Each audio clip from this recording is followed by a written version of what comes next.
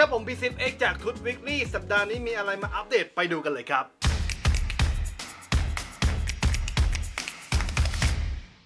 จับยกตี้ครับที่ประเทศบังกลาเทศนะครับผมนักแข่งผับจีโมบายร่วมร้อยชีวิตนะครับผมจากกฎหมายห้ามเล่นเกม ตำรวจในบังกลาเทศนะครับผมบบุกจับการแข่งขันผับจีโมบายนะครับผมรวบได้ร้อยกว่าชีวิตนะครับผมสืบเนื่องมาจากกฎหมายที่ห้ามใช้แอปพลิเคชันและเกมต้องห้ามนั่นเอง ถ้าหากใครที่ไม่ได้ติดตามข่าวสารนะครับผมอาจจะไม่ได้ยินนะฮะหรืออาจจะลืมไปแล้วนะครับผมว่า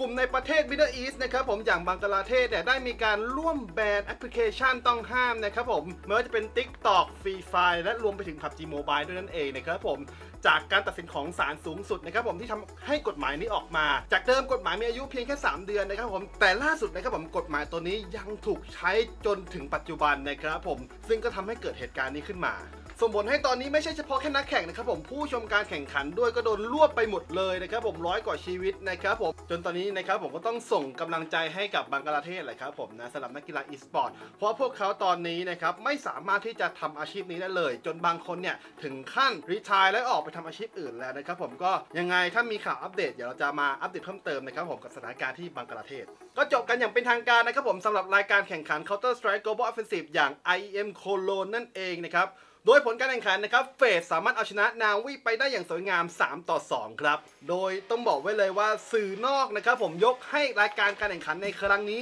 เป็นรายการที่ดีที่สุดในประวัติศาสตร์ของการแข่งขัน Counter Strike Global Offensive เลยก็ว่าได้ครับ และนี่นะครับผมอาจจะเป็นจุดที่ก่อให้เกิดการ comeback ของเกมนี้ก็เป็นได้ครับ เกม Counter Strike นะครับผมอดีตเนี่ยเคยเป็นอันดับหนึ่งในประเภท Tactical Shooting นะครับผมในแวดวงการ e-sport นะครับ ต้องสั่นคลอนเพราะว่าการมาของ Valorant จากค่าย Riot Game นั่นเอง ซึ่งตอนนี้นะครับถ้าพูดถึงในเรื่องของการแข่งขันแล้ว ของ Valorant ดูค่อนข้างมีความแอคทีฟกว่าเยอะพอสมควรนะครับผมเมื่อเทียบกับสถานการณ์ของเคาน์เตอร์ในปัจจุบัน แต่มาในรายการ IEM Cologne นะครับ ต้องบอกไว้แล้วว่านี่อาจจะเป็นจุดเปลี่ยนของวงการ e-sport ในเครือของ Counter Strike ก็เป็นได้ แต่มาในรายการของ IEM Cologne ในครั้งนี้ต้องบอกไว้เลยว่าการแข่งขันนี่คือ สุดยอดคุณภาพจริง ๆ นะครับผมคือเดือดกันตั้งแต่ในรอบ group stage จนรอบ final เลยนะครับแทบจะไม่มี match ไหนที่ไม่เดือดไม่สนุกเลยนะครับสูสีกันมาก โดยเฉพาะในรอบ final นะครับที่บอกเลยว่าสื่อเนี่ยต่างยกให้เป็น match of the year ของปีนี้เลยก็ว่าได้กับการเจอกันของ FaZe และ NaVi ที่สู้กันแบบสูสีอย่างมากเลยครับท่านผู้ชม แทบจะไม่มีจังหวะการเล่นพลาดจากทั้ง 2 ทีมเลยไอ้ซึ่งความไฮของการแข่งขันในครั้งนี้นะครับผมก็ สืบเนื่องมาจากนะครับผู้เล่นอันดับหนึ่งอย่าง s1mple นะครับก็กำลังถูกท้าทายบัลลังก์จาก Twistzz จาก FaZe นั่นเอง ต้องบอกไว้เลยว่าทั้งสองคนเนี่ยมีไฮไลท์มีจังหวะการเล่นตลอดการแข่งขันเลยครับในครั้งนี้ แต่ท้ายที่สุดนะครับก็เป็นทางด้านของ FaZe สามารถเอาชนะเหนือ NaVi ไปได้ 3 ต่อ 2 ครับ เป็นเกมที่สวยงามและจบอย่างสวยงามจริงๆครับ s1mple นะครับผมปฏิเสธไม่ได้ว่าคือผู้เล่นอันดับหนึ่งของโลกนะครับ ถึงแม้ว่าเขาจะแพ้ในการแข่งขัน แต่เขาได้รางวัล MVP ในรายการนี้นะครับผมและก็ได้ออกมาพูดเพิ่มเติม ด้วยว่านี่คือการแข่งขันรอบ final ที่ยากที่สุดในชีวิตของเขาครับ ก็สะท้อนถึงทักษะการเล่นของ FaZe ที่ตอนนี้อาจจะขึ้นมาเป็นอันดับหนึ่งของโลกแล้ว ในด้านของ community นะครับผมต่างฝ่ายต่างก็อวยการแข่งขันนะครับผมอวย 2 ทีมนี้อย่างหนาแน่นจริง ๆ แล้วก็เป็นปรากฏการณ์ที่หาดูได้ยากใน community ของ Counter Strike ที่จะมี ความ active ถึงขั้นนี้นะครับ ซึ่งอาจจะเป็นสัญญาณของการรื้อฟื้นความเชื่อมั่นในตัวเกม และ community ของ Counter Strike ก็เป็นได้ โดยมีอินฟลูเอนเซอร์ครับหลายๆคนก็ต่างมา แสดงความยินดีนะครับผมแล้วก็ออกมาแสดงความคิดเห็นว่านี่คือ Counter Strike อย่างที่มันควรจะเป็น ก็เราดูกันต่อไปนะครับผมว่า Organizer เกม Counter Strike จะมีแผนในการต่อยอดการแข่งขันครั้งนี้อย่างไรนะครับบอกไว้เลยว่าน่าจับตามองมากๆนะครับโดยเฉพาะอย่างยิ่งเนี่ยตอนนี้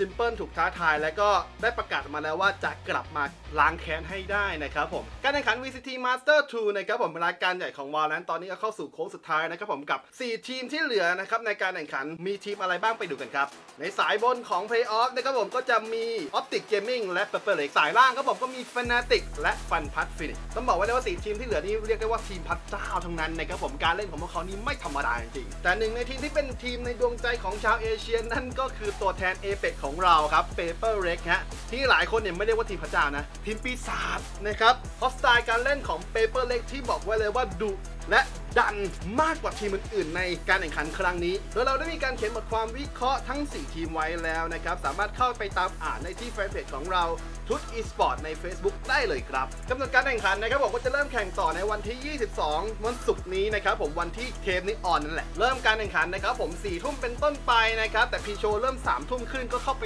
รอรับชมได้เลยนะครับ Rockstar ครับผมประกาศเปิดรับสมัครพนักงานเพิ่มมากขึ้นมหาศาลนะครับผมอาจจะเป็นสัญญาณของ GTA ภาค 6 หรือเปล่า หลังจากที่ Rockstar ครับผมได้มีการประกาศยุติการพัฒนาเกม Red Dead Online นะครับที่เป็น ตัวออนไลน์ expansion ของ Red Dead Redemption ภาค 2 นั่นเองนะครับล่าสุดก็ Rockstar จู่ๆครับผมเปิดเว็บไซต์สมัครงานครับผมรับสมัครพนักงานใหม่นะครับ 226 ตำแหน่งด้วยกัน ซึ่งสื่อหลายสื่อนะครับผมในแวดวงการเกมก็ตีความไปต่างๆ นานานี่อาจจะเป็นสัญญาณของการพัฒนาเกม GTA ภาคต่อเป็นภาค 6 หรือเปล่า และถ้าใครที่ตามข่าว GTA ภาค 6 มานานเนี่ย ก็อาจจะเคยได้ยินข่าวลือไปบ้างว่า Rockstar ตอนนี้คือประกาศแผนพัฒนาไว้เรียบร้อยแล้วดูนี่นั่นนะครับผม แต่ก็ยังไม่มี confirm ออกมา อย่างแท้จริงว่าพัฒนาอยู่หรือเปล่า เพราะว่านอกจากแฟนๆ GTA แล้วนะครับ ก็มีแฟนๆ เกม Bully นะครับผมที่ตอนนี้ต้องบอกไว้เลยว่ากระแสกำลังมากับการเรียกร้องภาคต่อของ Bully นั่นเอง แล้วก็ยังรวมไปถึง Mac p l a n ภาค 4 Midnight Club Manhunt นะครับผมเกมในเครือของ Rockstar ที่ต้องบอกไว้เลยก็มีเกมดีๆ ที่ยังไม่มีภาคต่อนะครับ เดี๋ยวก็ต้องรอดูกันนะครับว่า Rockstar จะประกาศภาคต่อเกมอะไรหรือว่าแค่เปิดรับสมัครเฉยๆ ยังไม่มีแผนในการพัฒนาต่อสับขาหลอกอะไรประมาณนี้ก็รอรับชมกันต่อไปครับ และนี่คือทั้งหมดของทุตวิกฤตในสัปดาห์นี้นะครับผม ต้องบอกไว้เลยว่า Counter Strike เนี่ย มาแบบตุ้มเดียวนี่กินขาดจริงๆสำหรับการแข่งขัน IM c o l o n ในครั้งนี้นะครับผมก็รอดูกันต่อไปนะครับผมแฟนๆ Counter ในประเทศไทยก็น่าจะยิ้มกันมากขึ้นนะครับผมแต่ก็แน่นอนนะ Counter Strike ในเมืองไทยก็ยังเติบโตได้ยาก เพราะว่าตัวตัวฉกาจอย่าง Valorant ก็ยังทำผลงานได้อย่างดีเยี่ยมตลอดมานะครับผมก็รอดูกันต่อไปนะครับสำหรับวันนี้ผม PCFX ขอลาท่านผู้ชมกันไปก่อนเจอกันใหม่สัปดาห์หน้าสำหรับวันนี้ สวัสดีครับ